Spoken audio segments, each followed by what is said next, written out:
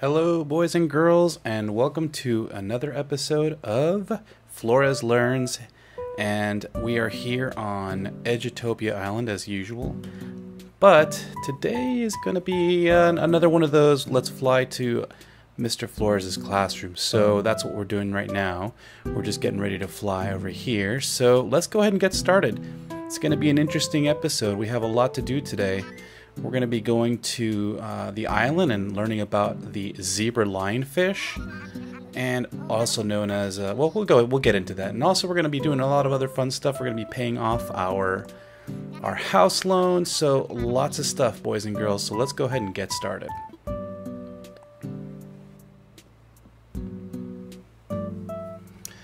All right, there, boys and girls, and now we are on Avo Island. Look at that, awesome, awesome. And also, look at this. I'm I'm wearing my shoes this time. We're going to be good guests, I imagine. Okay, let's make our way over to the classroom. As you can see, there are some changes here, which is kind of cool, right? All right, let's go ahead and go to the classroom. Oh, what is this over here? Is that a bug? No, that's not a bug. Okay, here we go. All right, there's our classroom, and look at that. How cool is this, boys and girls? Here she is. What a wonderful looking fish. Let's go ahead and zoom in on that and get a real nice look at that. Look at that. Here, let me move out of the way so you guys can see it. There we go. And so this is, well, okay, you can come back, Jordan. Jeez, you didn't have to go all the way out there. Make your way back, buddy. There you are. Okay, go ahead and take your seat. Awesome. So here we go, boys and girls. There it is, the zebra lionfish. What a cool looking fish, and by the looks of it, it doesn't look very friendly. It has a lot of stripes, and I think that's why they call it the zebra lionfish. Also known as the zebra turkey fish, probably for its fancy frills that are coming out of the, the dorsal area and back in the, in the sides as well. Okay, well, let's go ahead and go through a little bit of the facts on this wonderful and amazing fish.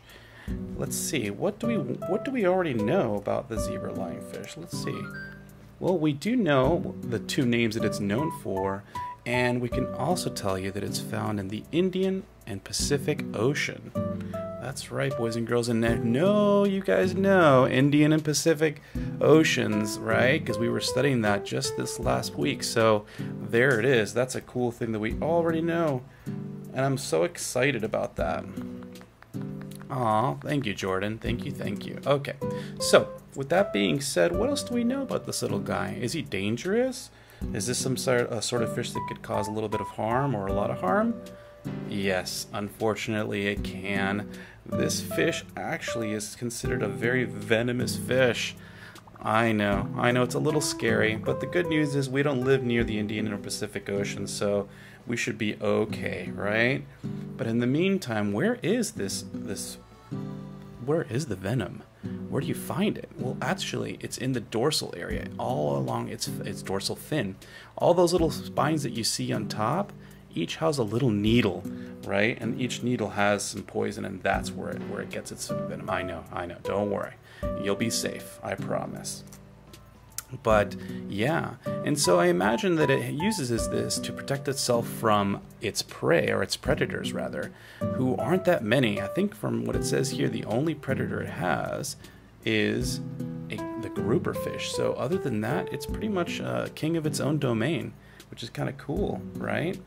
All right, well there you have it. There is the zebra lionfish. Pretty cool, right?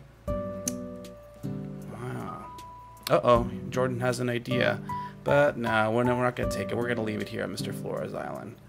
Okay, in the meantime, let's go ahead. Now that we've learned a little bit about this, I'll put some links in the description on where you can find some more information on this cool looking fish. But in the meantime, let's go ahead and make our way back to our island, right, boys and girls? So that's what we're gonna do. What? What? what hold on, I gotta, I gotta close the whole thing here. Don't go away just yet, Jordan. Come right back. there you go. Thank you, sir. I know. Okay. There it is, the zebra lionfish. All right, let's go ahead and do this. Back to our own island. You know, I I just want to appreciate this classroom for a second. This is probably a really cool little setup. I know that a lot of people have been asking what the classroom looks like. They wanted to get a better look at it, so we'll go ahead and do a quick tour. We got our whiteboards and our giant server because you know we need a lot of uh, internet for all the things we do here. And this is Fred. Fred. Ah! Fred, our skeleton. All right. And this is our kindergarten garden. There it is. Cool, right? Kindergarten garden. I like saying that. That's kind of funny.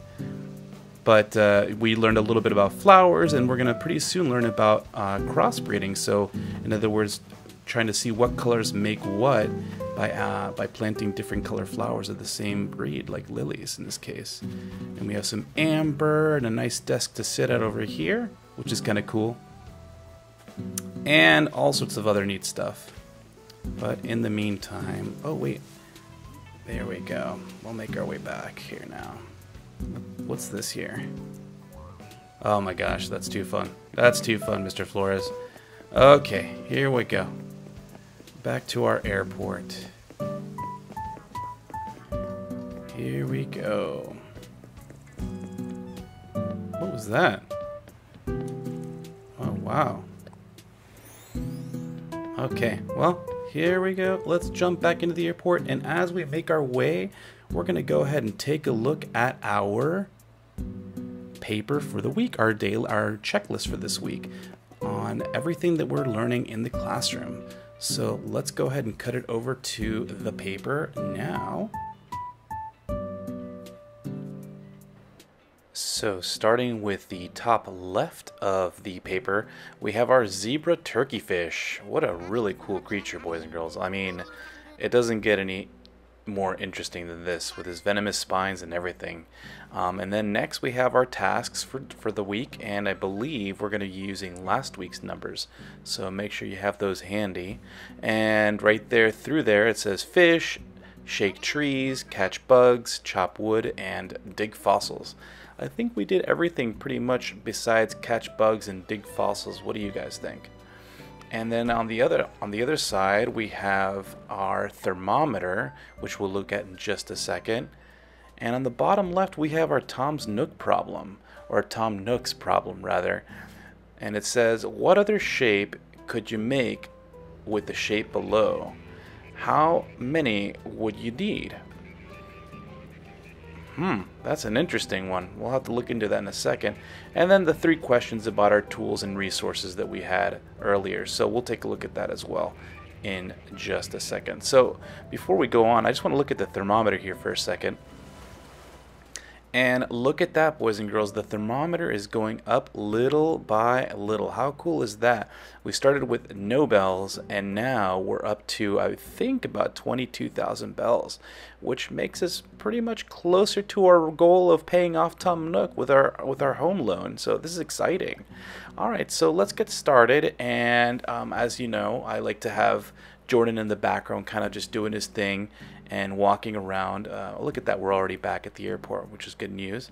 Um, and then let's go ahead and jump into our problem. What do you say? So, Tom Nook's problem. Let's go ahead and take a look. What other shape could make the shape below? How many would you need? Well, first of all, we need to figure out what kind of shape this is. It doesn't look like a rectangle because the sides are a little uneven on both ends, right? But it does have a few sides that we can count.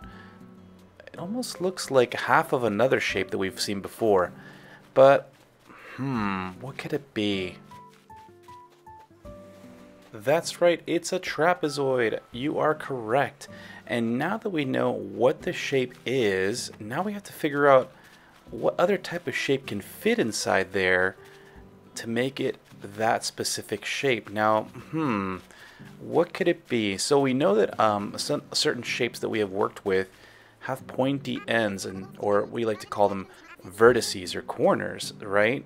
So, what shape has those type of corners that we've seen before? I'll let you think about that for just a second.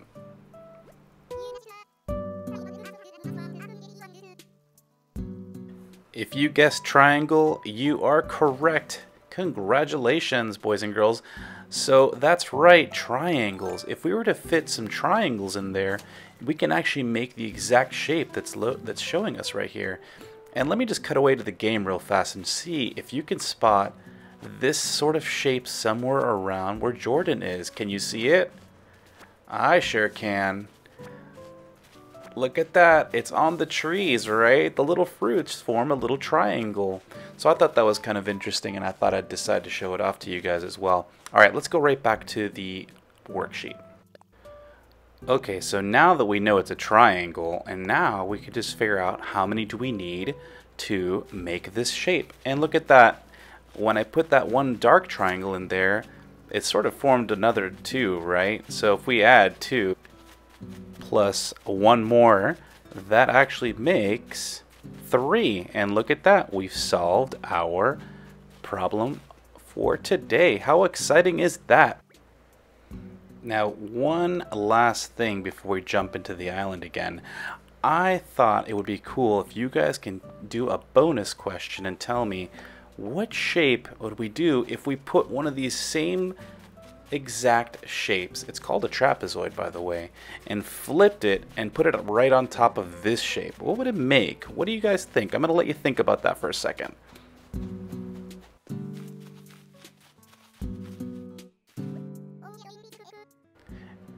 If you said hexagon, you are correct. That's right.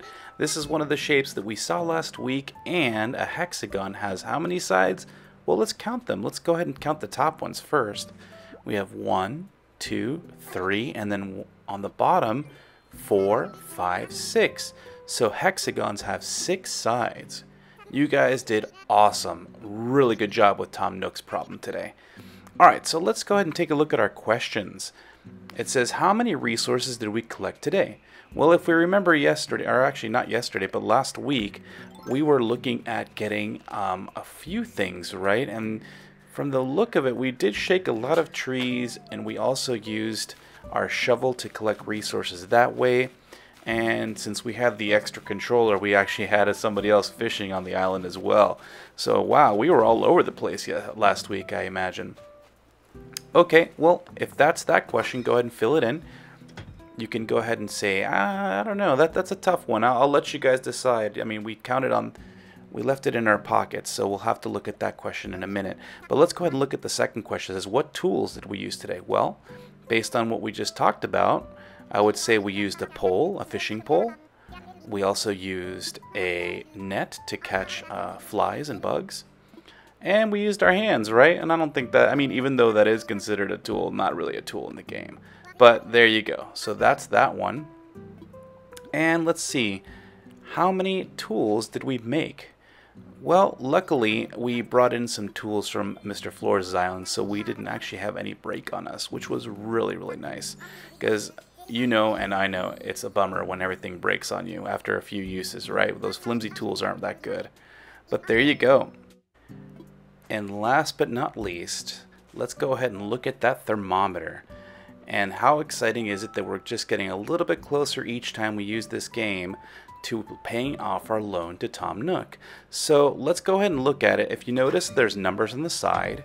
And as we put in more money into our ABD, or automatic bell dispenser, I'm going to go ahead and we, or actually you guys will go ahead and fill in a little bit more of our thermometer until we reach to the very top, which is 98,000 bells. So let's go ahead and make our way into the tent and see what we can do about getting ourselves a new home. What do you say, boys and girls? Exciting times. Okay, so let's go ahead and head over to Tom here. Ah, Jordan, hello, hello. What would you like to talk to me about? I'm all ears. What should I do about my home? Eh, I'm good. About my home. Oh, Jordan. Have you made a decision about home ownership? As fun as living in a tent can be, a house gives you more space and helps you plant some roots. Now, building a house means taking out a new loan in the amount of 98,000 bells. So, what do you think? Ready to build your own home, sweet home? I think we are, boys and girls. Yes, let's do it. Let me think about it. Nah, let's do it. Thank you for your business. I'll get in construction started right away. Exciting times. By the way, you get to choose from eight different colors from the roof. Could you please select a color for the roof from this list? We have red, pink, yellow, black, and a different color. Now, as he makes his way down the list, I'm sure you guys can recognize some of these colors, right, boys and girls? We're going to go with yellow just to keep things simple. Okay, you'll have a yellow roof. I'll get that order in for you. Yes, yes. Oh, one more thing. Homeowners get an automatic Nook mileage program upgrade. Just give me one moment. Hmm. So this is going to be cool. We'll definitely add this into our task list for the week, and this will be an exciting way to earn a few extra miles from um, from the island. So that'll also be a great way to just uh, have something to focus on each week as well. So there you go, Nook Miles Plus. You'll see the details when you launch the app, so please give it a look when you can. That is all from me. Your wonderful new home should be ready tomorrow. Quite exciting, yes? That was cool, boys and girls. So there you have it. We now are the proud owner of a brand new home, all thanks to you guys and your support by collecting resources on our island. All right, well, with that being said, I think we are good to go here, boys and girls. Thank you for joining on another episode and another adventure here on Edutopia Island. And for all of those who are not in the classroom, thank you for helping by subscribing and liking and all that great stuff. And we'll see you next time, and hopefully, we'll be able to see a new creature as well. Take care. Bye.